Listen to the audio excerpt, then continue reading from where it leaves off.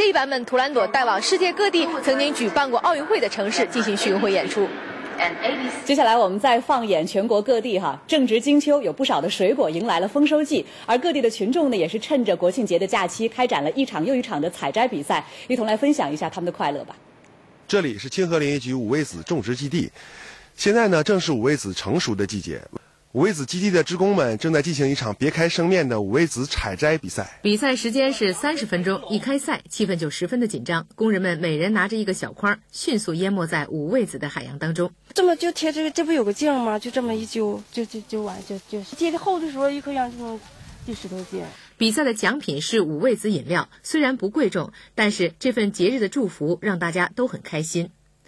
在黑龙江省富锦市，人们欢聚在葡萄园的草地上举行葡萄公主选拔赛，以此庆祝丰收。开始。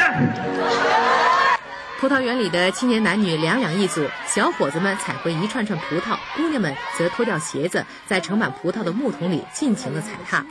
很累，不过非常有趣儿。刚才的比赛啊，考验的是选手榨葡萄汁的速度。那么成绩排在前五位的选手啊，要进行接下来的这个默契考验。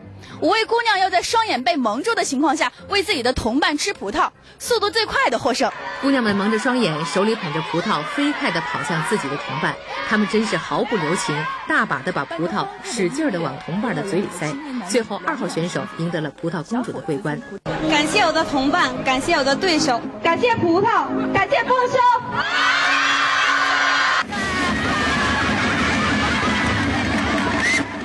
在武汉市江夏区山坡乡光兴村举办的一场以橘子为主题的运动会上，摘橘子比赛、挑橘子赛跑，这些日常生产劳动项目都被请进了比赛现场。乡亲们你追我赶，趣味横生。这位一只手能抓住三个大橘子，不到两分钟他就摘了十斤橘子。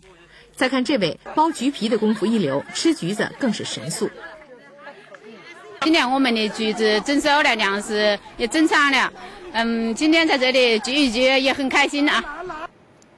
丰收的不仅仅是水果，还有爱情。昨天呢，有上百对新人就在西子湖畔，踏着玫瑰花铺就的红地毯，收获了自己的美满爱情。十月六号中午十二点，在杭州西湖文化广场，上百对新人身着大红中式传统服装，显得格外的喜气。在迎新牌的指引下，他们登上了花车，开始自己的幸福之旅。在众多新人当中，最引人注目的莫过于这些来自五湖四海的异国情侣。在西湖断桥，热情的人们早早等候在那里，准备为新人们送上祝福。